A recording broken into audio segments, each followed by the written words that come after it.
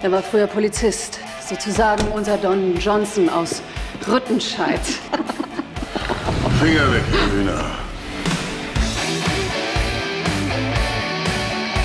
Ihr zwei ergänzt euch ja schon wie Starsky und Hutch. Wie wer?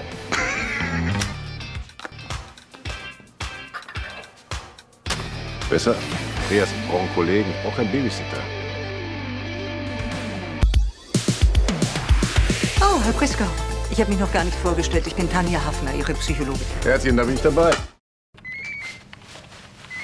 Ganz ruhig. Ist nur ein Mobiltelefon.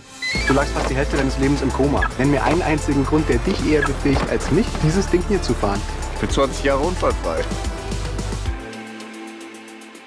Bett, da musste ich doch irgendwie weiter. Falsche Antwort.